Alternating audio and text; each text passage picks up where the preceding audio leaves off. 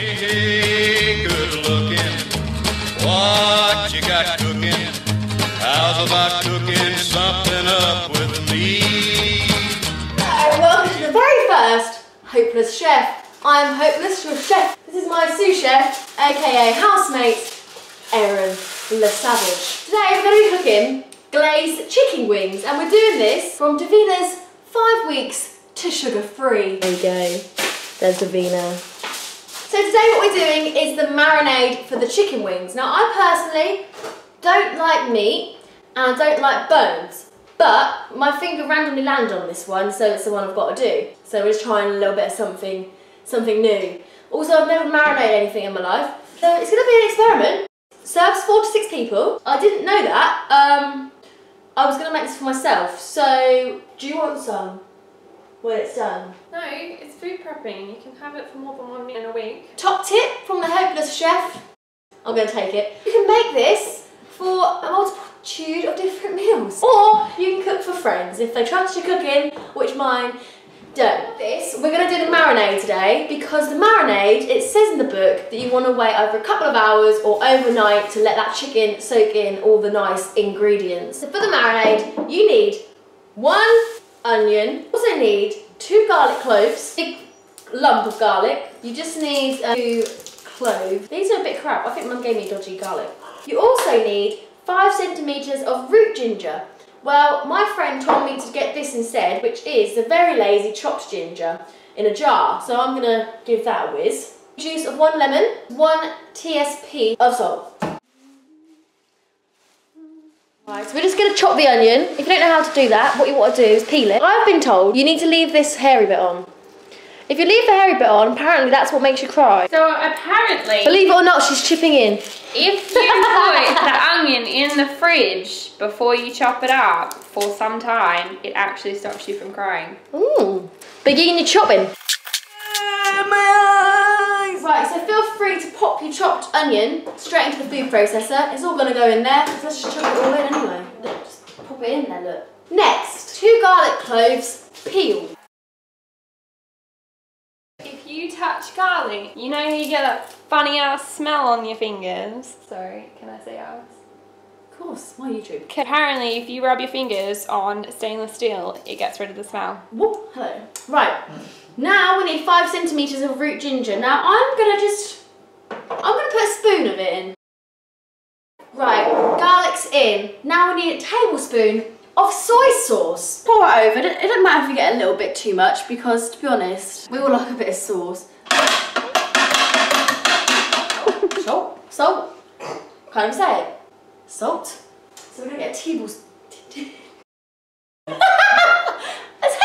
tablespoon. Juice of one lemon. So first cut the lemon in half like so. Then you need to get your lemons.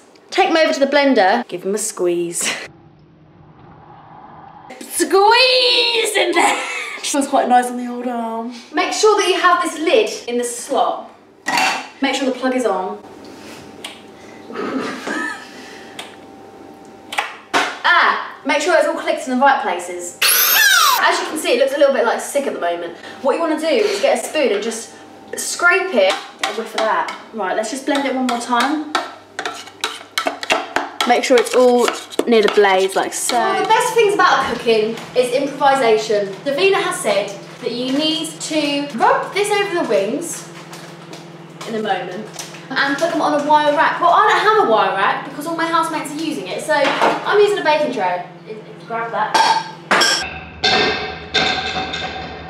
Be aware that things may fly out of the blender for some unknown reason. Get your chicken out. Right, you do need one kilogram of chicken wings. Now you don't want to lose any of this lovely marinade. Well, I'm not doing a great job. Now as you can see, this is, is, this is my first time cooking these wings and so far it's, it's going quite well and it's quite an easy, easy recipe to follow, hey Mike? Mike is another one of my housemates in the grab your chicken. Oh my god. Now to me, this doesn't really look like a smooth paste. I'm not sure why, but that's okay. I'm just gonna swack it on, rub it like that. Getting all the nooks and crannies because it would be horrible to have a bland wing.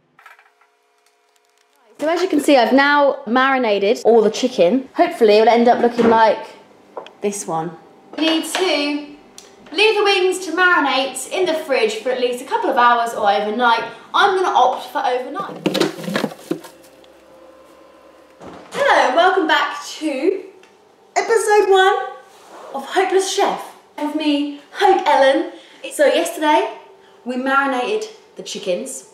It's 24 hours later. The chicken is in the fridge and I'm gonna pull it out and we're gonna cook these wings. Lovely and raw.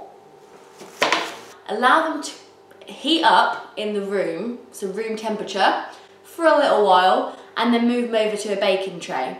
I'm skipping that step because obviously it's already on a baking tray. So I'm just gonna remove this cling film. Make sure if you use cling film that you put it in a bin. Now I don't really believe in preheating your oven. I think you should just shove it in without preheating.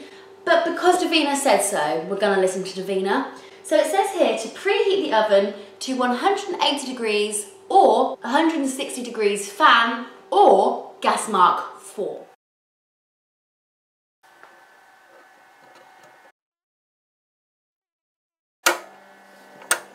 To glaze the chicken, we need some sesame seeds, we need some teriyaki sauce,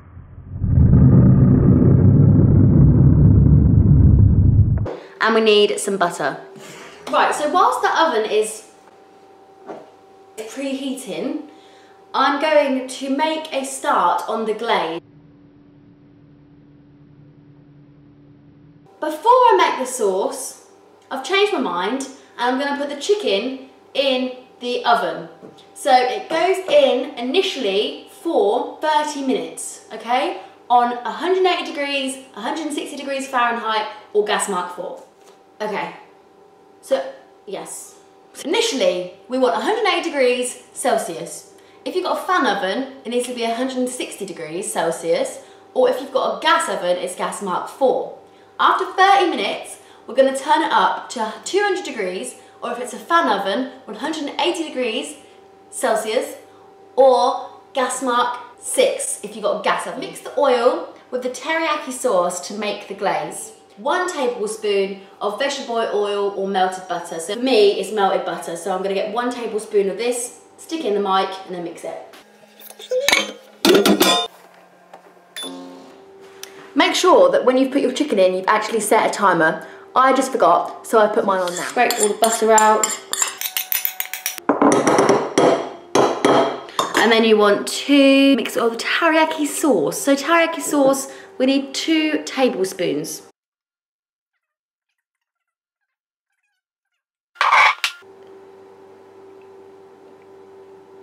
Right, we're gonna mix this together.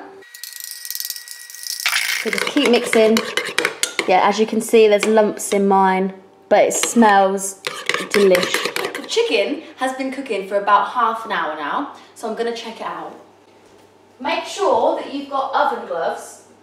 Um, we don't have oven gloves here, so I'm gonna use a couple of tea towels and just fold them over. Get that nice and thick so you don't burn your skin off. Well, it's smelling very chickeny.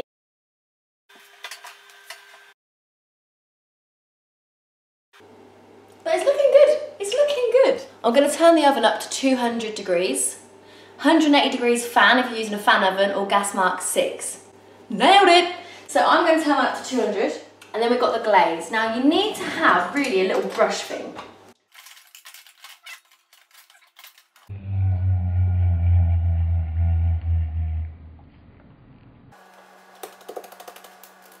Right, you want to get your glaze and just start putting it on the chicken.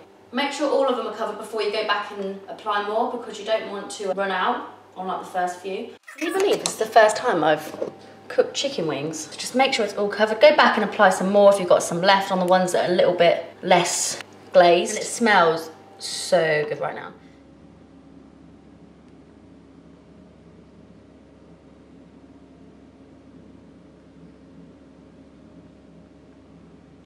Right, sesame seeds and we're gonna sprinkle them. Oh my God, get a bag, it's easy. To you. You wanna sprinkle some sesame seeds over the chicken. Be careful these little fuckers, they're going everywhere.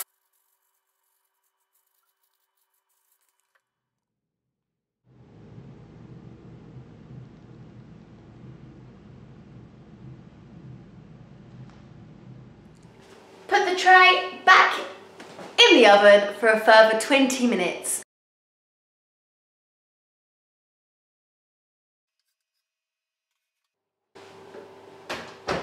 How exciting! Right, it's time to get the chicken wings out.